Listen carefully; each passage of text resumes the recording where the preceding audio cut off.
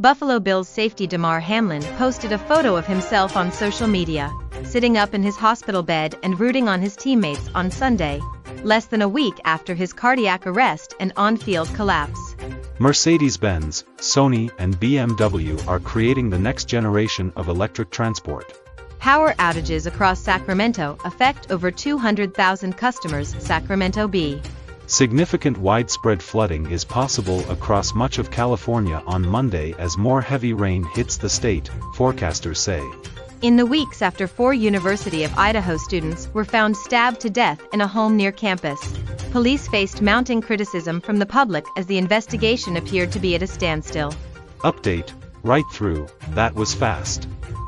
Coming out of its fourth weekend of release, James Cameron's Avatar, the Way of Water has topped $1.7 billion globally and become the number 7 biggest movie of all time world.